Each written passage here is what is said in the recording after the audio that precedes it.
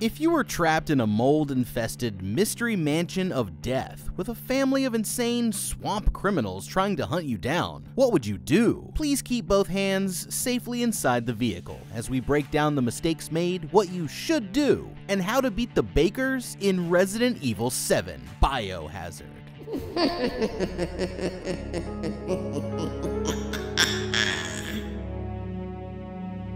Ethan Winters has been having some relationship troubles, and they're not the kind that you can fix with couples therapy. It's been three years since Ethan's wife, Mia, suddenly disappeared without a trace, until a few nights ago, when he received a plea for help simply reading Dulvey, Louisiana, Baker Farm, Come Get Me, which is definitely not suspicious or vaguely threatening in any way. Being the loyal husband that he is, Ethan immediately drops everything and drives out to the remote property in the exact car from the Evil Dead, carrying nothing but the clothes on his back and both of his hands still firmly attached to his body. Far out in the swamp, he arrives at Mia's surprise long-term Airbnb, the Baker residence, and it's about to become his own personal hell. The large iron gate is locked, forcing Ethan to circle around down a muddy path until he finally comes to a dilapidated guest house. And the still smoking fire pit with Mia's purse buried in the ashes makes it clear that he's found the right place. Ethan cautiously explores further into the house, quickly noticing that the place is in a severe state of decay. There are no signs of life anywhere besides the roaches feasting on the rotting gumbo in the kitchen, until he finds a VHS tape labeled Derelict House Footage, which shows a group of ill-fated ghost hunters investigating the house for the next episode of their show, before they're all suddenly attacked and captured by a mysterious figure. After witnessing three men suffer a horrible death in this exact location just a few weeks ago, Ethan naturally decides to follow their path into the terrifying house's even more terrifying basement. Besides a surprise dead body, he makes it through the flooded hallways without any trouble, and that's when he finally finds Mia locked in a cell. Easy enough, time to go home. But wait, there's a problem. She's terrified that someone called Daddy is coming and starts frantically leading Ethan back through the basement until she suddenly disappears while he's looking for a way out. Searching for the main floor again turns up nothing, forcing Ethan to circle back to the basement to investigate some creepy breathing sounds. The good news is that Mia's back. The bad news is that she's suddenly gone full grudge mode and wants to introduce Ethan to her new friend, Mr. Knife. Their family reunion quickly turns into an all-out death match. With Ethan here being thrown through the walls like a ragdoll until he finally buries a hatchet into the side of his wife's neck. But wait, Mia's still alive, and she brought two more friends, Mr. Screwdriver and Mr. Chainsaw. Ethan manages to get free just as Bob the Builder here uses that chainsaw to chop his left hand completely off of his body. But she's feeling a little tired now and decides to go take a nap. With blood still squirting from his stump, Ethan retreats up to the attic, where he finds a handgun and some ammo. Now we're talking. Just as he's about to escape through a window, Mia and her chainsaw crash the party again, but this time he's able to take her down with a healthy amount of lead. Ethan has now killed his wife twice in the same night, and he's probably wondering how things could get any worse, which is when he's sucker punched and curb stomped by a 6 foot 1, 240 pound, unkillable redneck named Jack. And boy, are things about to get so much worse. Okay, time for us to step in real quick because it looks like our buddy Ethan here could really use a hand.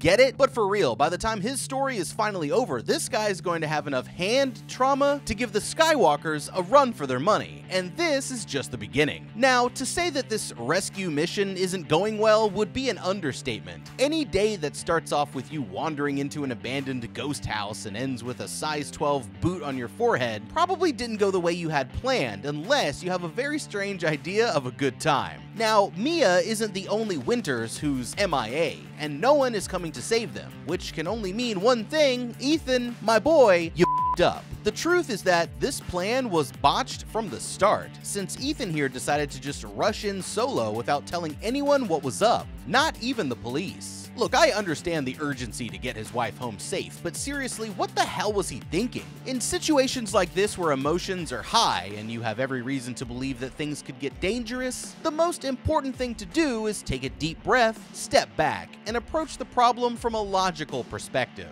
After all, I'm no detective, but it's my understanding that people who've just been missing for three freaking years usually don't just send you an email out of the blue with their exact coordinates. Since Ethan had absolutely no idea what happened to Mia or why, he should have guessed that blindly running to the rescue could easily put him in the same position, which is exactly what ended up happening. That's not to mention that Ethan is from Los Angeles, so whether he flies or drives, it's going to be a long trip to the middle of nowhere, Louisiana, and the police could definitely have looked into things sooner if he'd just given them a heads up. The property is already on the police's radar, and now that they have an actual email from a missing person saying that she's there, that should give them enough of a reason to at least go check the place out. Let's just assume for whatever reason, Ethan didn't want to get the police involved yet. Alright, but then why not at the very least tell some family or friends what's going on? It's a lot to ask, but maybe he's got a good friend back in LA who would have come with him.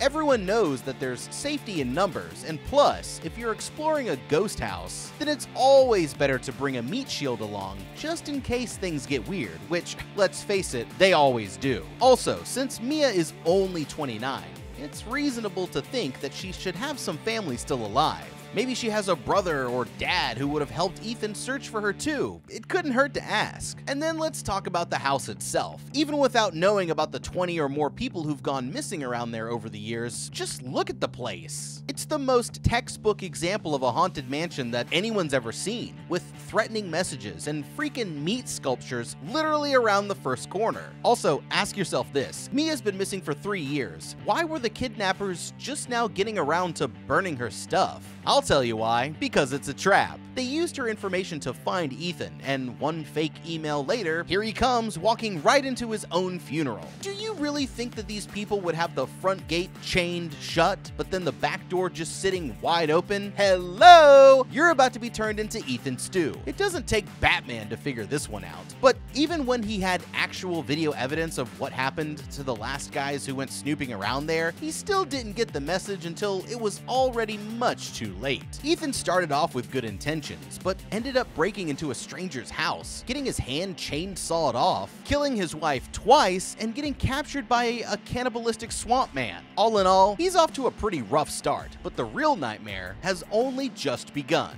Sorry, Ethan, but you f***ed up. The next thing Ethan knows, he wakes up at the family's kitchen table with his hand helpfully reattached. Since Mia was calling Jack here daddy, now it's time for Ethan to meet his new in-laws from hell. Besides the man of the house, there's his psychotic wife, Marguerite, their even more sadistic son, Lucas, and the family's catatonic grandma, who just kind of hangs out. The theme for tonight's dinner is Texas Chainsaw Massacre, and they're enjoying a nice home-cooked meal of human intestines. Jack even uses a knife to play a game of Here Comes the Airplane with Ethan until they're rudely interrupted by a visit from the local authorities. This gives Ethan a chance to escape, but it isn't long before Jack returns and starts chasing after him with a shovel, crashing straight through walls like the Kool-Aid Man if he turned to a life of cannibalism. Luckily, he's able to lose him in a crawl space under the house, throwing Jack off of his trail for now. Back in the hallway, Ethan's actually able to speak to the deputy through the boarded up door, and they agree to meet each other out in the garage. Despite Ethan stressing that they need to leave now, the deputy questions him for just long enough that Jack has time to sneak up from behind and slice the man's head completely in half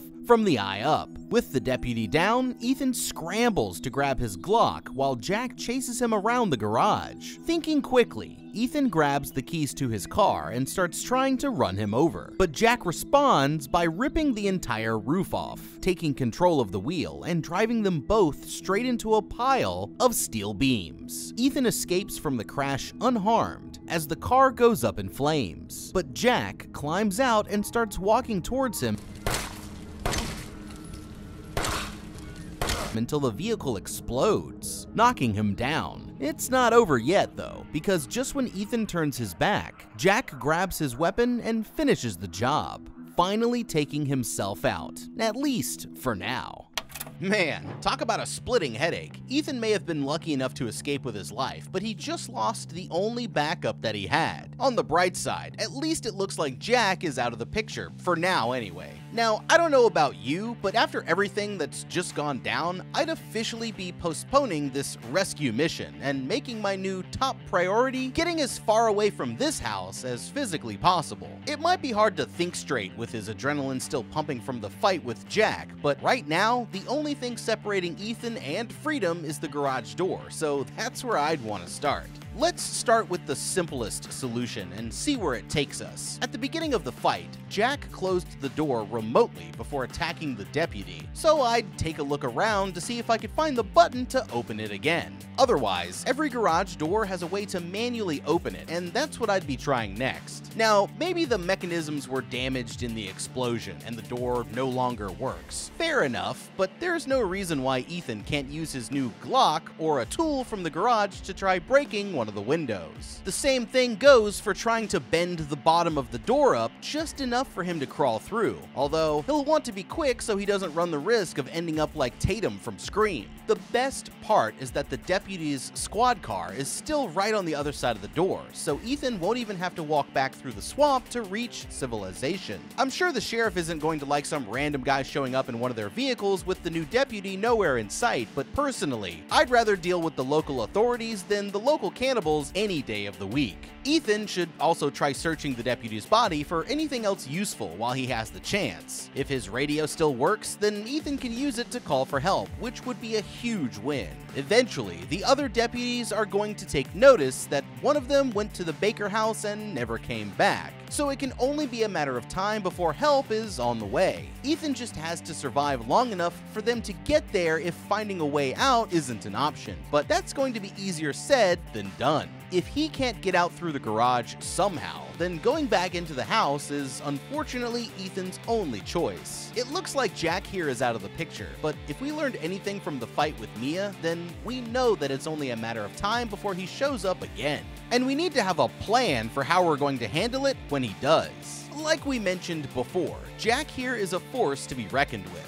He's a 6'1, 240 pound former football player, and Marine who's right at home here on the Bayou. He obviously knows the layout of the house better than anyone and has a whole arsenal of terrifying weapons that I get the feeling he's been just waiting to use on a defenseless victim. Worst of all, his infection makes him super strong and impervious to damage. Even a shotgun blast to the face won't do the trick. In fact, he'll probably find it funny that you even tried, and that's about as terrifying as it gets. Because if your problem can't be solved with a shotgun, then you have a very big problem indeed. Then we have Ethan, our average built tech geek from LA who's probably never been in a fight in his life. Forget standing up to Jack, Ethan here can't even run away all that fast. The best thing that he has going for him is his inexplicable ability to reattach amputated limbs with the help of whatever miracle cure is in those bottles of strange green liquid that he keeps finding around the house. But if that's all we have to rely on, then I'm not feeling too great about his chances here. All things considered, Jack here would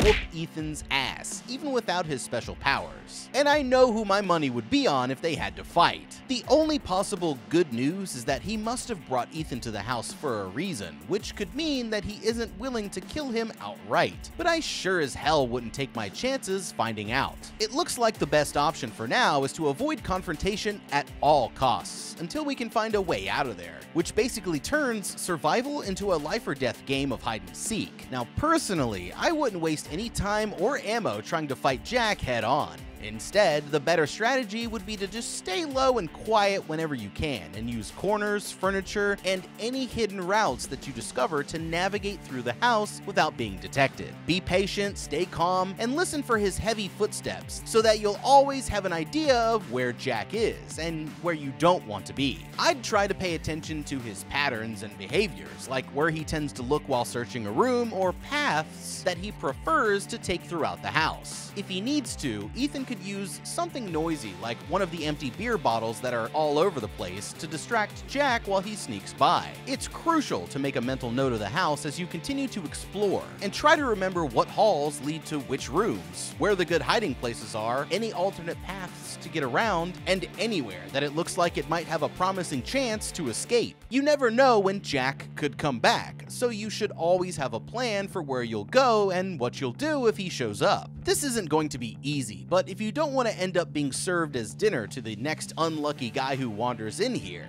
then your only choice is to stay positive and keep pushing forward until you eventually find a way out of this madhouse. Now that Jack is out of the picture, Ethan finally makes it to the entrance hall of the main house. The door to freedom is right there, but it's locked with some kind of strange contraption, requiring him to find three statues to open it because, of course it does. With no other choice, Ethan continues exploring the creepy-ass house like he's trying to solve the world's most dangerous escape room. The search eventually leads him to the second floor, but as he finishes checking the bathroom, Ethan's suddenly ambushed by who else but Jack himself somehow back from the dead once again, and he's even angrier than before. After narrowly avoiding being pulverized by Jack's new spiky rolling pin of death, Ethan discovers a hidden passageway through the walls down on the first floor, which leads him into another closed off section of the house. He's managed to lose Jack for now, but there's no telling when the big guy will show up again. It turns out that the Bakers aren't the only threats in the house. As Ethan enters one of the next rooms, a giant, horrific creature suddenly emerges from the black mold growing up the walls. It's one of their previous victims that was somehow transformed by the mold into a shambling abomination with a craving for human flesh. Fortunately, these guys aren't as impervious to damage as the Bakers are, and Ethan is able to take it down with a few well-placed shots. The hall eventually leads to another locked door, leaving Ethan with only one way to go,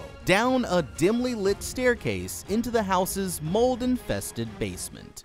Okay, hold up, Ethan. Let me stop you right there. Creepy hallways and secret passages are one thing, but another basement? You can't be serious. We've seen what happens in this house's basements, and I'm telling you right now, there's no way that I'd be going down there unless I really had no other choice, especially now that we've encountered another type of enemy, these mutated abominations called the Molded. Ethan has no idea what these things are, at least not yet, but taking a good look at them, once they're safely taken down of course, might give you a hint. Essentially, these guys are what comes out when the bakers feed one of their victims to the mold that's growing all over their house nasty. It looks like they're approaching 7 feet tall, with a gaping mouth full of massive teeth and long tentacle-like arms, with huge claws on the end that can even grow into a shield to protect them from attacks. That's absolutely terrifying, but fortunately, unlike Jack and Mia, they can be taken down with enough damage, and the best way to do it is to stay out of their reach and aim for the head, just like the good old-fashioned zombies that we all know and love.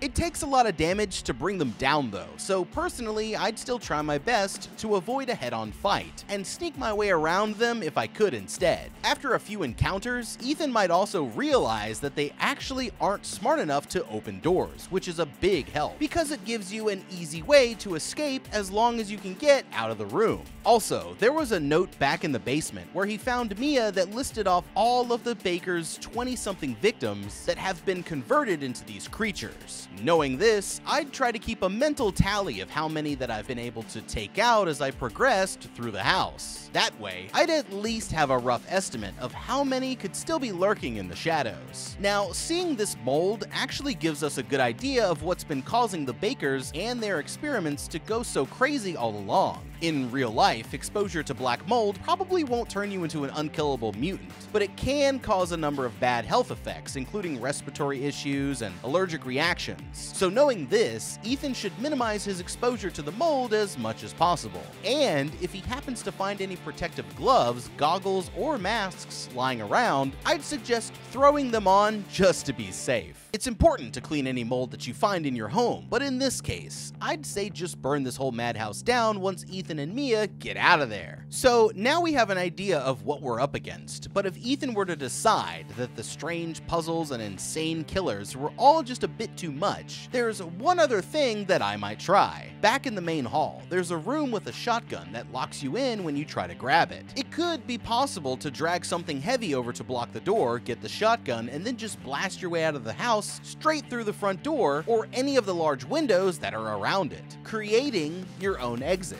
It could definitely work better than going down into that basement, and Ethan needs to start thinking outside of the box if he's going to survive. The entire basement has been turned into a processing area for the Baker's twisted experiments, and Ethan has to fight his way through as he's being ambushed by several more of the mold monsters from around every corner. But the good news is that while he was exploring, he found a shotgun. Deep within the tunnels, Ethan finally finds the last key suspiciously hanging right out in the open up on a raised walkway. But this time, when he grabs it, Jack suddenly attacks him from behind, knocking Ethan down into a makeshift arena on the lower level. It's time for another fight, but this time Ethan won't be such a pushover. Using his new arsenal, he does enough damage that Jack tears open a fence and grabs a terrifying contraption made out of two huge chainsaws. But Ethan gets his hands on one of his own, that's right, it's time for a chainsaw duel, and Ethan dodges around the arena using the hanging bodies for cover, damaging Jack whenever he can, until finally he's able to drive the saw deep into his brain, causing the top half of his body to just straight up explode. Jack's legs get up and stumble forward on their own for a second, until he's finally dead, like really dead. And with a feeling of newfound confidence, Ethan uses the chainsaw one last time to open the path forward. Back in the entrance hall, Ethan's finally able to get the main door open with the third key. Victorious, he takes his first steps out of the house and into the wide open courtyard, but he still has a long way to go. Okay, Ethan's made some major progress, but let me jump in with a quick thought here. Now that he's safely outside, I'd strongly consider turning on the kitchen stove and lighting the whole house on fire. Not only would that torch any pesky mold creatures that might still be inside, but the blaze could also attract attention from society which would eventually lead to Ethan finally getting some backup once the police and fire department came to check it out. I sure as hell wouldn't want to go back in there anyway, and when you can't call for help, a good old fashioned smoke signal tends to do the trick. Out in the yard, Ethan finds a trailer where the only baker who's still sane, their daughter Zoe, had been living since the rest of the family went all cuckoo for Cocoa Puffs. Zoe herself is hiding somewhere else on the property, but she calls Ethan to explain that all of them, including Mia, are infected with a strange parasite. Yes, now listen carefully, Ethan. My family and I, our bodies are contaminated. They'll all eventually turn into monsters unless they get the serum, but to find it, he'll have to venture into the old house. And that's Marguerite's turf. With that, Ethan reluctantly heads for the old house. There's no sign of Marguerite yet, but the place is creepy as hell, full of mutilated baby dolls and giant insects that attack Ethan if he gets too close. Searching the house for any sign of the serum, he eventually finds the parts to put together a homemade flamethrower, the perfect weapon for torching Marguerite's swarms of bugs. Back inside, Ethan comes face to face with Mother Marguerite for the first time when she jump scares him from behind a closed door and starts sending swarms of her insect children to devour his flesh. His bullets don't seem to do much against her either, forcing Ethan to take the same approach as he did with Jack, and sneak around her through a secret passageway in the wall that's full of centipedes and other disgusting creepy crawlies, which leads him to the other side of the house. Okay, Ethan's officially fought the rest, but now it's time for him to fight the pest. He's finally had his first encounter with the bug-loving freak, Marguerite, and all that I can say is yikes. You see, Jack was scary in the Michael Myers sort of way, but Marguerite is the definition of heebie-jeebies. Well, Ethan's in too deep to give up now, so I guess it's time to talk some strategy. At first glance, Marguerite here looks like a frail old lady, which gives Ethan a much better chance of taking her in a fist fight, or else it would if it weren't for the fact that she also has superhuman strength and speed. This means that not only can she put Ethan through a wall, but she can run circles around Mr. Slowpoke too. The only good news is that she prefers to let her bugs do the fighting, and they're a lot easier to manage. So, unless you have a severe case of entomophobia, just keep your distance and flamethrowering your way through her freaky flying friends, and that should be enough to get you by. When push does come to shove, Ethan is going to find out that although Marguerite also has the ability to regenerate, she's not quite as sturdy as Jack, and can indeed be taken down with enough damage. Still, it's better to avoid confronting her for as long as possible,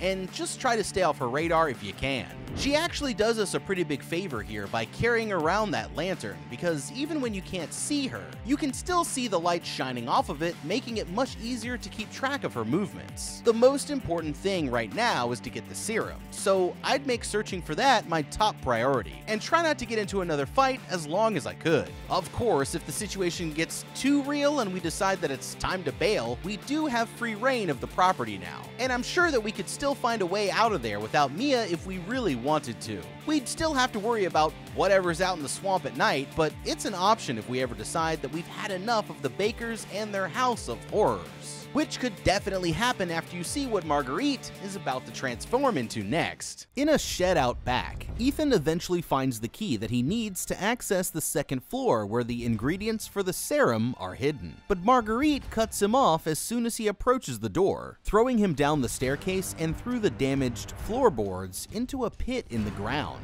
Trapped, Ethan has no choice but to hit her with everything that he's got from down below. With enough damage, eventually Marguerite succumbs to her injuries and collapses into the pit, but she isn't out of the picture yet. Ethan quickly realizes that he'll need Marguerite's lantern to open the next door, but when he doubles back to get it, a long, slender arm pulls it away deeper into the crawl space. It looks like Marguerite has transformed into something even more horrifying. Still, Ethan follows her through the tunnels as she scuttles away on all fours, until he eventually comes to a ladder that drops him in front of a large greenhouse. Inside, Ethan pushes up to the second floor where he's suddenly ambushed through a window by Marguerite in her new spider-like form. It's a brutal fight to the death, with Marguerite climbing all over the walls and ambushing Ethan from the shadows, like some demented spider lady from hell. Finally, he does enough damage to take her down permanently as the mold in her body calcifies, and she crumbles into dust, leaving her only lantern behind. With the lantern in hand, Ethan doubles back to the old house and makes his way to the terrifying contaminated area on the second floor, where he discovers a Frankensteined together child on an altar, taking its arm as an ingredient for the serum. When he turns around, he sees a vision of a pale, barefoot girl who suddenly disappears as he gets closer. Ethan doesn't realize it yet, but this girl is no ghost. She's something much, much worse. Ethan's supposed to be meeting Zoe back at the trailer, but when he finally gets there, the woman is nowhere to be found. Instead, he receives a phone call from her insane brother Lucas, who gleefully informs Ethan that he has both Mia and Zoe hostage. In order to find them, Ethan's going to have to play a game that Lucas designed just for him.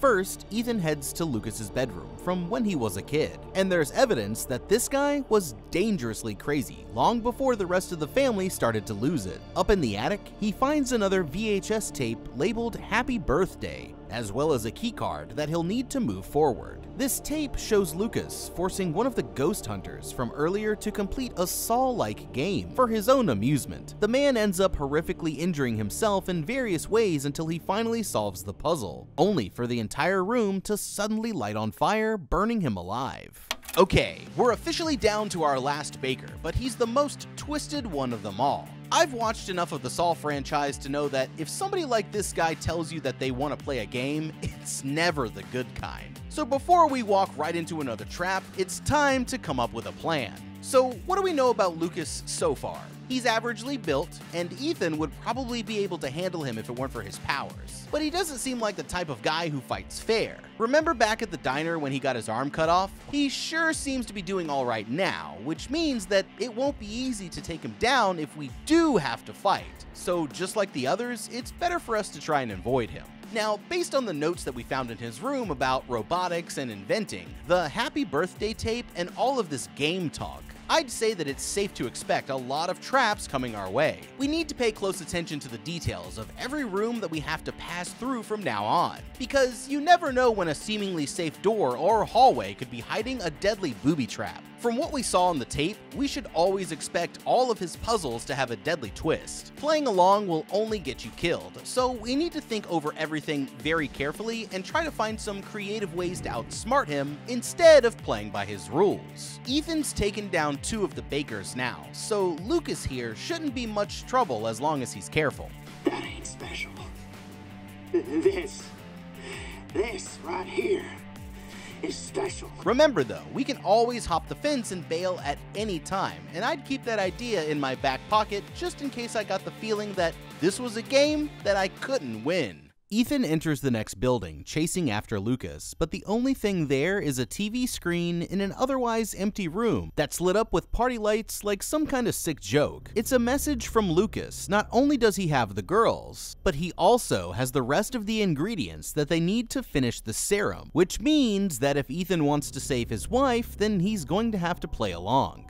Eventually, he winds up in a large barn where the family used to keep their farm animals. Lucas forces him to fight against this new, massive, molded variant in an area that he's created, complete with rock music blasting through the speakers, but Ethan is easily able to take it out with the powerful new gear that he's been collecting. Defeating the monster unlocks the door to the next room, where Ethan finds the last victim's charred body with a note warning him that you're next. He ends up trapped by Lucas in the same deadly puzzle puzzle, but what this asshole doesn't realize is that Ethan already knows the twist from watching the VHS tape. So he's able to avoid being killed in the fire. Furious, Lucas drops in a ticking time bomb to kill him instead, but just before it blows up, Ethan tosses it through a hole in the wall, opening a way out. He makes it to Lucas's control room just as the creep disappears, but now he has what he needs to finish the serum. Crossing a long boardwalk, Ethan finally finds Mia and Zoe tied up near the boathouse. Now that they have all of the necessary ingredients, Zoe is able to make two batches of the serum, just enough for her and Mia to both get a dose. But the bakers aren't done with Ethan yet.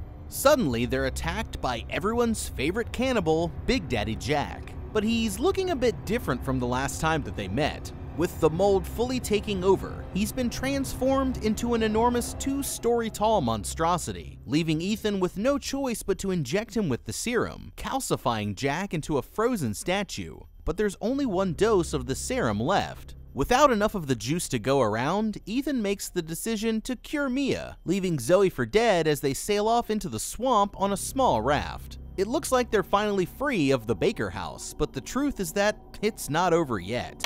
Okay, man, that was a tough call. After all, Zoe did actually help us out, while Mia here was busy trying to cut our heads off half the time. Maybe it could have been possible to give them each half a dose since neither of them are as far gone as Jack.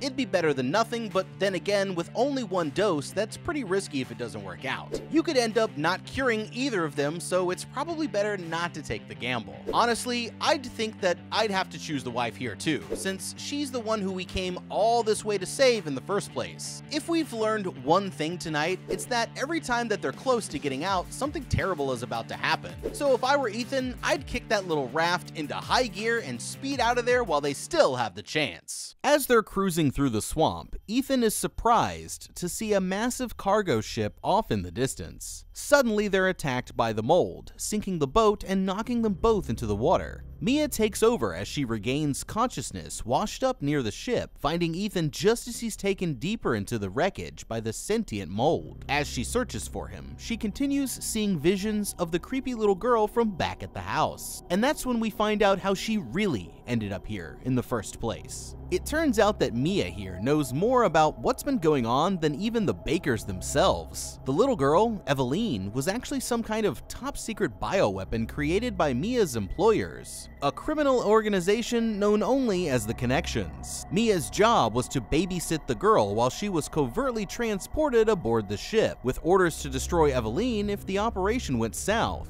Tired of being treated like a lab rat, the girl managed to escape and look over the ship with her mole, turning the unsuspecting crew into monsters and declaring Mia to be her new mommy. Despite Mia's best attempts to stop her, Eveline crashed the ship and dragged her off to the Baker house, which is how she ended up taking over the family. As part of the job, Mia actually received special ops training, making her pretty handy with all kinds of weapons, which she uses to carve her way through the monsters that are still infesting the now destroyed ship. Determined to rescue her man, Mia fights her way down deeper and deeper into the wreckage until she finally reaches the engine room where she finds Ethan covered up by a bunch of mold. While unconscious, Ethan has a dream where he meets Jack and Zoe, but instead of the crazed axe murderer that we've come to expect, this time Jack is actually super chill. The man regretfully explains that this was all caused by Eveline, who made the entire family, besides Lucas, turn homicidal when she infected them with the mold after they rescued her and Mia from the crashed ship. They never wanted to become so evil, but once Eveline took hold, they were powerless to resist her control. Finding Eve and taking her out is the only way to finally end this nightmare and set Jack's family and Mia free. Suddenly, Ethan wakes up as Mia finally breaks him out, but she's forced to lock herself inside the engine room as she starts to fall under Eve's mind control yet again. Well, Ethan didn't kill his wife twice just to let her die now, so he returns to the house armed with an arsenal of weapons, knowing what he has to do to finish the job. The path leads him back through the swamp to a sprawling salt mine that's become infested with dozens of the molded. But now that Ethan's armed to the teeth, even the toughest monsters are light work. Deep underground, he finds a secret workshop where the connections were keeping tabs on Eve, and the notes indicate that she was rapidly aging. Another document explains that the infected start out with the ability to regenerate from massive damage, and then begin to see visions of the girl, before the final stage when they go completely mold mode. Based on this, Ethan seems to be in the mid stages of the infection himself, which explains how his left arm still works. As luck would have it, he's also able to synthesize a third dose of the serum, which he's going to need very soon. Okay, we've got the serum and we've got a plan. All that Ethan needs to do now is get close enough to Eve to hit her with a dose. But that's not going to be easy if she knows that you're coming. Instead of confronting her head on, it could be possible to use the girl's psychology against her and trick Eve by just agreeing to be her family like she wants, before getting close enough to finish the job. That's one way to do it, or Ethan could always use the serum on himself and just leave while he has the chance. Let's be honest here, Mia kind of sucks now anyway especially now that we know that she played a huge role in everything that happened. If it wasn't for her shady company making mold children, then Ethan would be back home chilling right now instead of getting his ass kicked up and down the block by a zombie redneck torture family. After learning all of that, I might just pack my bags and let the connections clean up their own mess. Back in the guest house, Ethan finally corners Eveline up in the attic and injects her with the serum. The girl screams out in fear, and as the vision breaks, he sees that she was really Grandma Baker the whole time. Crying in pain, Eveline starts to transform as the mold takes over, mutating into a giant head that engulfs the entire room. Ethan does the only thing that you can do in a situation like this and starts blasting, until Eveline decides that she's had enough and flings him out into the front yard. When Ethan regains consciousness, Eveline has transformed again into an enormous mold monster 10 stories tall and there's nothing in his arsenal that could kill a creature this huge. Luckily for Ethan and the world, a military helicopter flies overhead at that exact moment, dropping him an extremely powerful weapon loaded with special rounds that he uses to finally put Eve down for good. The chopper circles back around as a team of special ops soldiers rappel down, and one of them introduces himself to Ethan as Chris Redfield, a guy who's been around the block when it comes to fighting bioweapons. They airlift Ethan and Mia out of there, and both of them are glad just to be alive. But it's safe to say that she's going to have a lot of explaining to do. They've finally escaped the madhouse and set the Bakers free, but this won't be the last time that their lives turn into an absolute nightmare. Holy fing sh that was a lot, and to experience it all in first person made it even more intense. What did you guys think? That was our first video game themed episode. I need to know if y'all were rocking with it because we might make more if you with it. Now, me personally, I would have said fuck all that shit and got a new girlfriend. But, you know, simp, simpity, simp, simp, simp, simp, simpin is as simpin does, right? Ethan probably really loved Mia. I mean, I'm three years, halfway across the country, no police activity. Let's fucking go. Let us know down in the comments below what you would have done differently though. And thank you so much for watching. Leave a like and subscribe and check out that How to Beat playlist for more videos just like this one. And seriously, let us know if you guys are fucking with the video game concept. Think of how many horror video games are out there that we could do. I'll catch you guys on the next one. Have a damn good day.